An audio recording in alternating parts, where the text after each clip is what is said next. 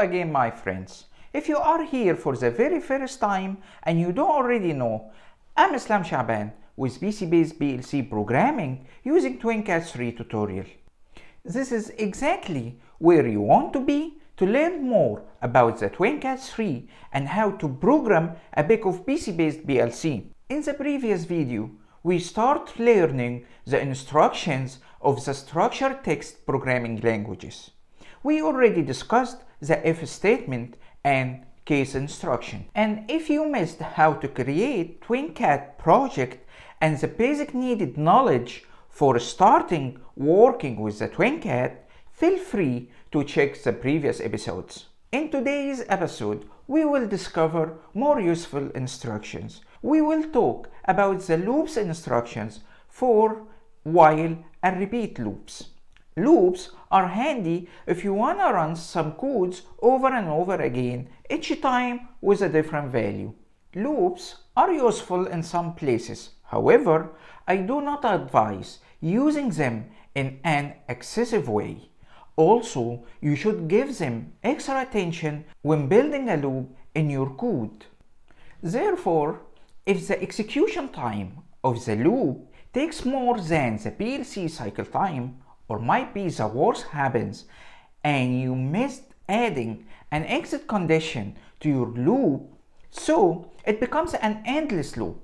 In that case, your PLC will switch to an error mode. Loops can execute a block of code several times, each time with a different value. Often, this is the case when we working with arrays.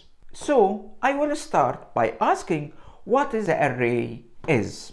An array is a collection of data elements of the same data type.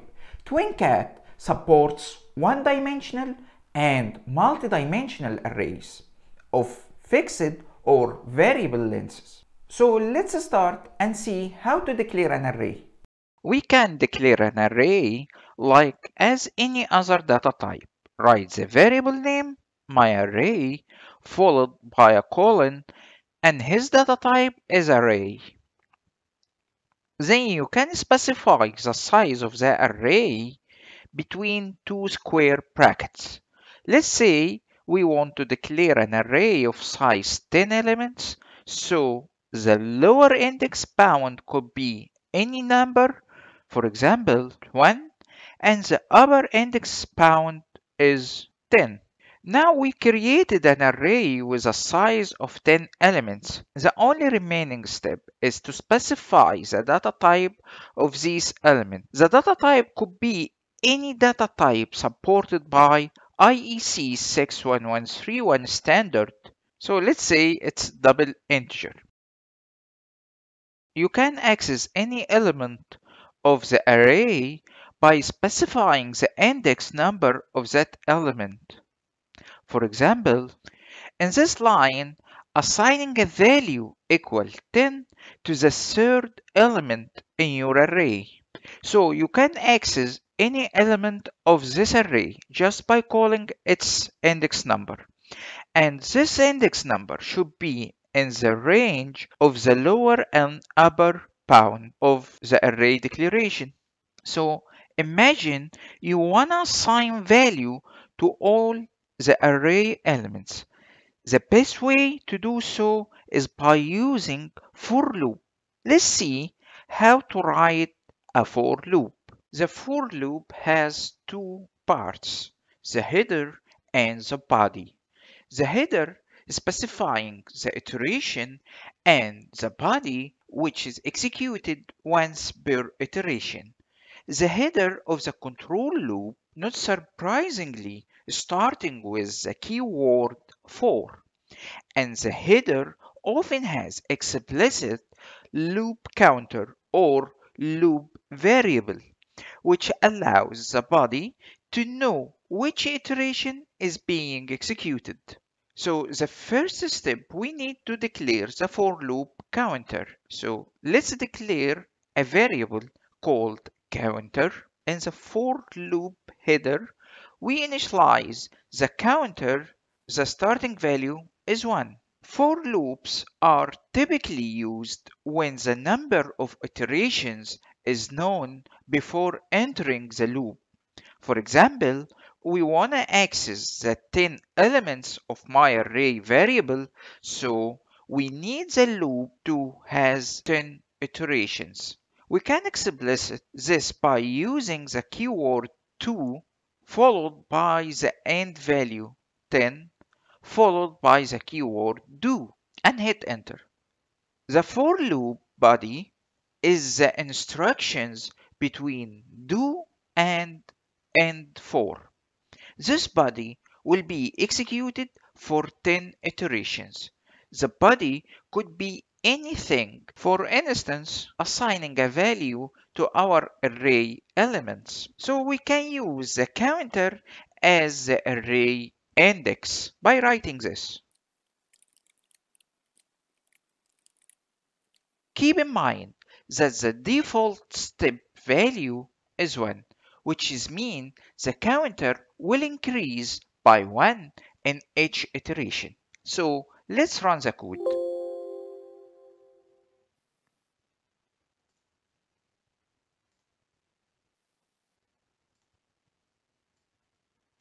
Notice the initial value of the array elements, its value 0. But now, notice the value of the array elements has the counter value.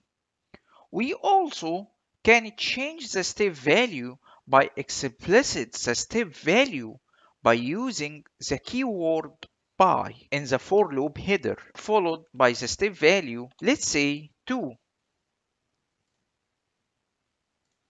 That means the counter value will increase by 2 each iteration. Notice the value of the array elements. Only the elements with the odd index have a value. An important point. The for loop finishes its iterations, the 10 iterations, in the same scan cycle. The iteration execution doesn't distribute over the scan cycles, but it's executed in one cycle. That's why maybe you notice the value of all elements updating at the same time. And this is one of the risks of using loops. So it's important to give more attention to the execution time of all the loop iteration. It shouldn't exceed the cycle time especially if the for loop body includes a big piece of code. So that was the first type of loops, the for loop. Let's have a look at the while loop. The while loop is used to execute instructions repeatedly until the termination condition applies. The termination condition of the while loop is a Boolean expression. Okay, I know I'm using a lot of jargon here, so let's have a clear example. But first, let's commence the for loop part.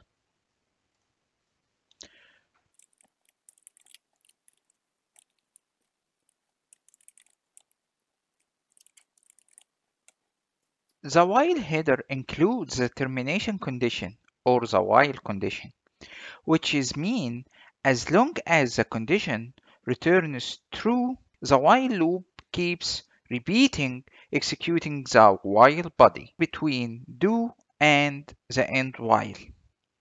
In this example, the termination condition is counter not equal 10. That means as long as the counter value does not equal 10, the while loop keeps running and repeating the execution of the instructions between the do and end while.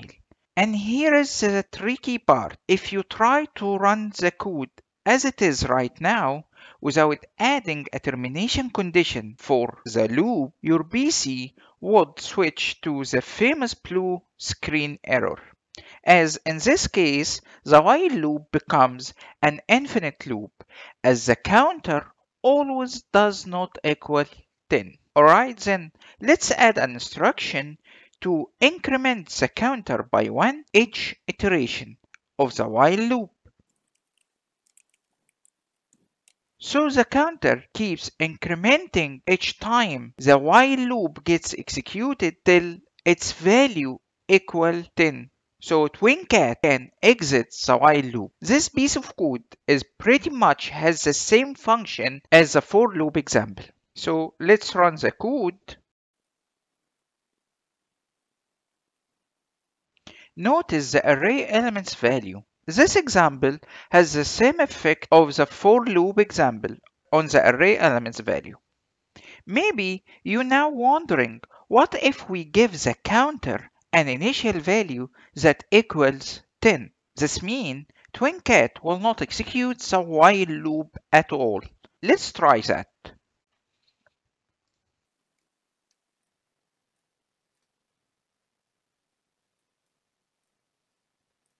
Notice now, the while loop does not start.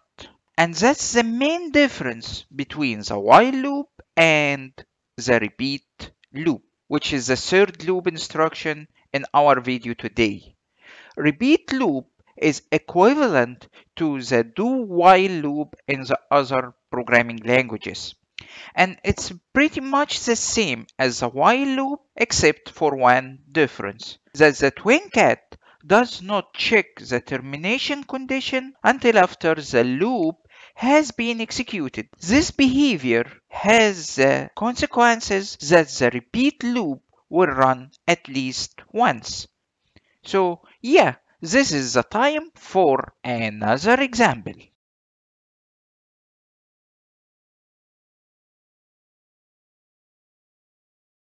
The repeat loop body is the instructions between the repeat and the until keyword.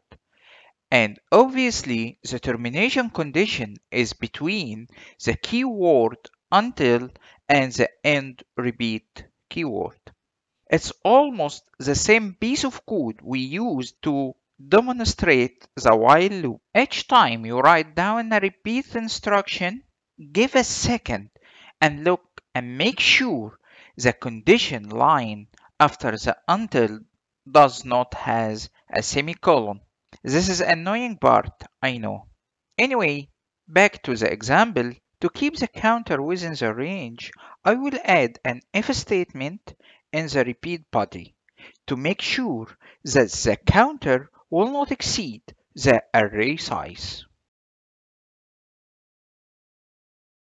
And remember, the initial value of the counter is still 10. Let's run the code.